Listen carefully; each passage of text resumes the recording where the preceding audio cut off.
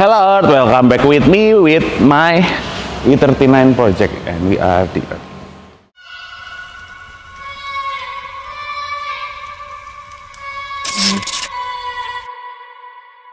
goes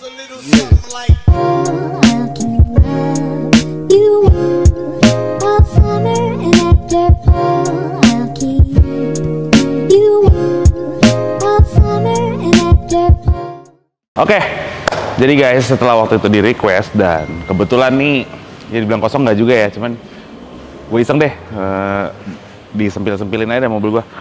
Akhirnya E39 kita rombak total guys gitu. Jadi kemarin tuh udah si bumper MTEK sebenarnya tadi gue nggak mau ganti warna. Bumper MTEK udah cat, gue cat biru nih, gue udah cat biru semua. Tapi berhubung kayak mesin nih kacau banget. Tadi gue kerok dan ternyata dempulnya lumayan banyak nih guys bisa dilihat di sini ya. Tuh, ini dempul semua guys. Jadi dipakai remover tuh nggak bisa, dia harus dikerok kayak gini. Dikerok gini. Dan itu tuh dempul. Jadi kemarin tadi kita panasin juga pakai heat gun. Jadi ini lumayan juga nih. Tebel juga ternyata. Jadi mobil gue catnya udah nggak ori, sekalian aja. Kita habisin dulu. Jadi ini mau gue kerok sebody, nanti kayak gini prosesnya. Gitu. Oke, ini kap mesin udah seperempat lah ya. Seperempat, terus tadi ada banyak sekalian kita mau ketok. Terus udah gue bongkar dikit tadi ini lampu udah dilepas, kap mesin dilepas di situ biar enak ngeroknya. Terus tadi gue iseng-iseng fender. Fender gue remover dikit, ternyata kalau fender juga lumayan nih. Nah yang paling parah tadi gue ketok tuh di sebelah sini nih guys. Kedengeran gak ya? Dan di sini tuh kayak tebel banget. Gue penasaran sih. Jadi ini mungkin kita isengin ya. Kita lihat kayaknya sih dempulnya tebel guys. Kayaknya dempulnya tebel. Kita cek dulu nih. Kita cek dulu. Kayaknya ini tebel banget nih. Kita lihat di sini ya. Nah, kita diemin dulu nanti. Ini kayaknya dempulnya tebel banget di daerah sini nih. Heeh. Oke, gue biarin dulu segini. Gue penasaran soalnya. Ini kayak dempulnya tebel. Oke, sambil nunggu kita ngobrol dulu deh ya. Oke, jadi yang dari terakhir gue vlog ini E39 kan waktu itu gue ngomong mau di project. Jadi projectnya udah gue pasang tuh pertama bumper MTEK ada sebelah sono bumper ya. Tuh depan belakang MTEK ya plastik. Tapi yang Taiwan gak part number ya, karena you know guys I'm broke. I'm broke as fuck. Jadi gak usah beli ori-ori dah.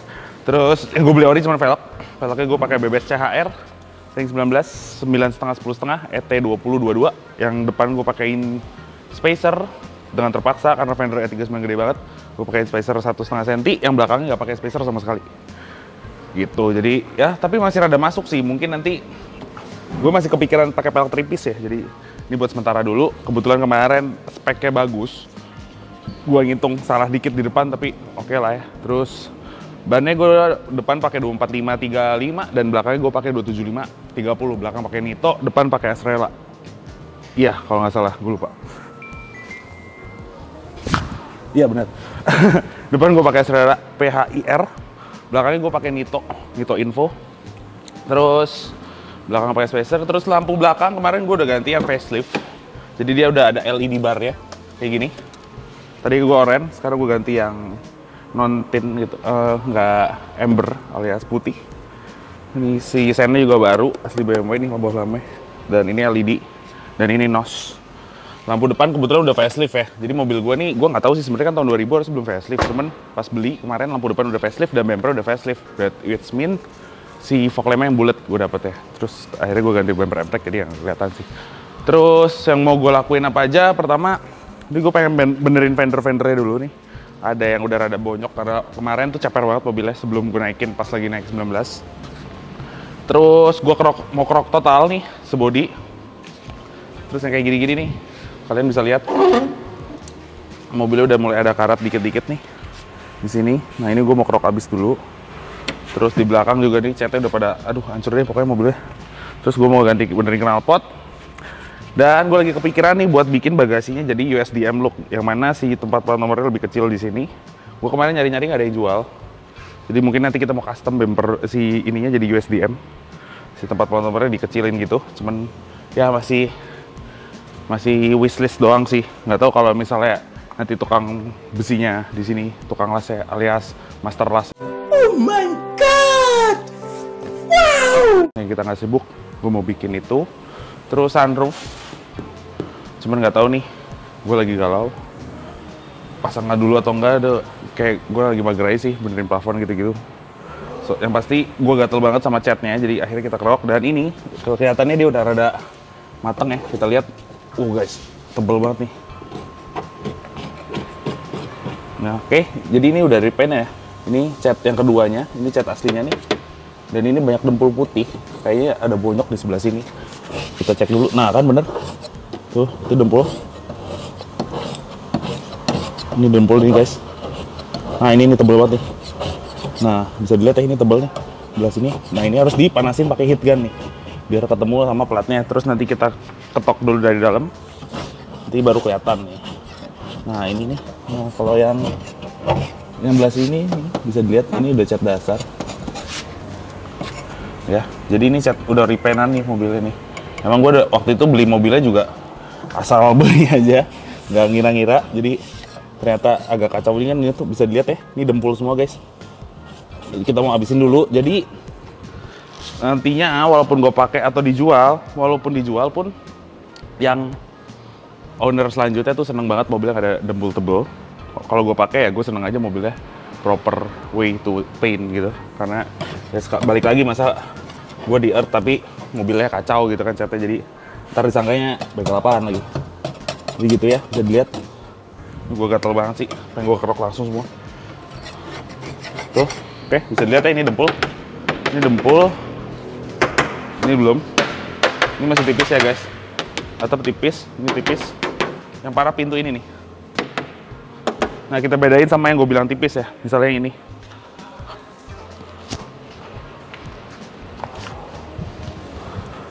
Oke kita coba di sebelah sini.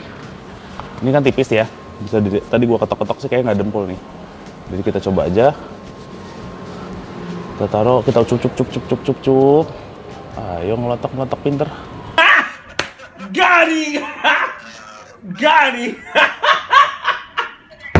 Nah ini bisa dilihat ini catnya langsung riut guys. Kita pakai remover paint. Terus dibantu heat gun juga nantinya kalau misalnya kayak ada dempul gitu. Dan ini harusnya sebenarnya sih ini rada nggak proper ya gue bikinnya. Harusnya peleknya dicabut dulu. Kalau biasanya ke customer ya. Terus ya dicopotin lah panel yang mau dikerok. Nah kalau ini tuh gue asal cepat aja sih. Nanti kayak beberapa juga nggak gue copot aja udah bodo amat deh. Jadi gue gatel pengen pakai lagi sih. Ini mobil gue lagi kehabisan mobil guys. Jadi buat yang kalian mau minjemin mobil boleh deh. What? Aduh, sedih kan nih BMW nggak bisa pakai, Civic nggak bisa dipakai. Dan untungnya ada si Project Karimun tuh, jadi gue masih bisa pakai Karimun dulu. Atau ya paling pakai Ignis gitu guys. Jadi ini gue kayaknya sih gue pengen buru-buruin nih mobil, gue cepet-cepetin aja. Mungkin gue turun tangan sedikit-sedikit, jadi ada video pengerjaannya gue buat kalian. Nah, ini nih kita cek ya. Nah, ini yang gue bilang kalau tipis, dia langsung ketemu besi. Tuh guys, langsung besi. Dan di ujung sini dempul juga ternyata. Nah kalau yang gini besi. Tuh, nah ini langsung besi kan. Nah ini udah tipis nih. Di sini juga kayaknya pernah ada crash sedikit. Soalnya kalau dilihat dari sini nih, si bem apa si crash barnya tuh udah nggak lurus-lurus banget nih. Jadi mungkin pernah nabrak mobil ya dan pernah di repair. Cuma dikit doang sih mungkin ya. Karena belah sini dia udah tipis, sini doang ada dempul. Ya wajar lah ya, mobil tahun 2000 pasti ada aja lah. Nggak mungkin kan, kecuali ya kilometer rendah gitu. Cuman gua pengalaman ngelihat BMW kilometer rendah juga sama aja sih. Karena BMW nggak dipakai, tetap aja ada, ada aja yang rusak gitu. Jadi ya nikmati aja, enjoy the process. Kalau punya mobil kayak gini harus sabar guys. Siap-siap hati aja gitu ya, karena Tuh, kayak gini juga ngeroknya susah sih jadinya hitungannya. Ini, ini udah warna besi dasarnya BMW nih. Gitu. Kalau ini dempul. Jadi mungkin belah sini nih ke dempul. Belah sininya udah enggak. Ini karena kalau yang belah sini kita kerok langsung besi. Di sini nih, mungkin di sini udah dempul juga. Ini masih enggak. Yang sono tuh dempul parah. Kayak pernah hancur juga. Ya pokoknya nanti gue laporin intinya kalau udah di rock semua total ya. Kalau ini bisa dilihat ini sih tebel banget jadi nanti sistemnya begini guys pertama pakai heat gun dulu kayak gini kita heat gunin terus kita kerok sambil dipanasin gitu kita kerokin sampai jadi besi kayak gini nanti udah besi kita amplas habis guys. Dan ini panas banget heat gunnya jadi hati-hati aja. Gitu guys. Oke terus buat nextnya pulingkin ini sebenarnya nggak banyak modifan ekstrim banget. Kita lebih ke restorasi hitungannya. Walaupun mobilnya belum tua-tua banget tapi ya sekalian deh nanggung udah ngecat juga sekalian dikerok aja. Tadinya gue masih tetap pengen biru. Cuman ya sama-sama aja gitu keluar bahannya dan ini beda waktu doang kalau dikerok. Tapi hasilnya tetap bakal tipis banget. Contohnya kalau dikerok tuh kayak gini. Ini debuan ya guys. Sorry. Cuman kalau kalian lihat nih tipis kelihatan. Diketok tipis dan dia kayak catnya tuh lebih nyatu warnanya sama body. Dia nggak ada gelombangnya jadi kalau cat udah tebel banget tuh gelombang guys. Cuma ini gue nggak tahu cat sebelumnya kayak gimana. Makanya daripada ngerusak cat seudahnya mending kita kerok abis dulu guys nanti kaca gue juga pengen copot kaca gue copot semua gue copotin dulu fender gue lepas sekalian ngecek kayaknya dudukan fendernya ini udah ada yang rusak soalnya kalau kita lihat nih fendernya ini sorry gue pakai kaki karena ini kalau dipegang panas banget tangan Oke. Tuh, di sini udah goyang. Beda sama yang di sini, goyangnya guys. Yang di sini dia lebih diem, lebih soft. Tuh, dia lebih ini. Mungkin karena yang ini pernah nabrak tadinya nih. Jadi gue pengen cari tahu dulu, mungkin ini ada dudukan fender yang patah. Jadi dia doyong banget kayak gini. Ini harus segini nih wave fendernya. Gitu guys, makanya kemarin tadi fender apa bumper fittingnya nggak bagus karena fendernya yang gerak gitu. Oke, terus selanjutnya lagi mungkin gue mau bikin custom oven filter sini, gaya-gaya racing dynam- dynamic gitu, dibikin kotak gitu, cold air intake, terus eh, knalpot gue pengen benahin lagi, terus spion nanti ganti yang M5, setir gue pakai M5 juga, Eh, jok mungkin standarin dulu karena kulitnya masih bagus. Cuman paling nanti kita cat jok kulit. Nah itu juga konten buat kalian. Kita bakal cat jok kulitnya ini. Yang rata-rata kita dempul kulit dulu, terus kita cat khusus cat kulit juga. Udah gue siapin juga itu. Terus apa lagi ya? Pokoknya komennya di bawah. Menurut kalian nih menarik gak sih Sia 39 ini? Atau aduh bang ngapain sih lu gitu banget? Kalau itu ya sorry gue udah kecebur. Jadi ya udahlah ini kecebur gue ke yang kesekian kalinya. Iya, namanya mobil tuh nggak ada kata nanggung guys. Kalau nanggung nggak ada habis-habisnya. Jadi ya udah deh gitu. Ah, sedih sih gue. Jadi nggak bisa dipakai nih. Padahal ini mobil udah enak banget kemarin. Gue baru servis uh, gede. Terus kayak mesin nih packingnya baru semua. Terus knuckle tuh ada kayak knuckle ke gardan tuh dia ada kayak uh, pegangannya gitu, mountingnya gitu gue ganti kemarin karena habis di burnout burnoutin iseng-iseng ternyata ngerusak. Udah udah jelek terus gue paksa kasar jadi kemarin rusak guys. Dulu udah dibenerin juga terus kaki-kaki kemarin kayak Rextir apa semua udah ganti baru. Jadi ini mobil udah enak banget sebenarnya cuman justru malah catnya yang kacau nih jadi gue kayak nanggung deh ya. Dan kira-kira kalian bisa tebak nih warnanya apa. Alias bukan tebak sih bantu gue milih warna karena gue masih galau sebenarnya tetap biru apa warna lain? Nah warna lain itu kalian boleh komen di bawah. Bantu gue milih warna dari warna yang kepilih. Nanti ada sesuatu deh.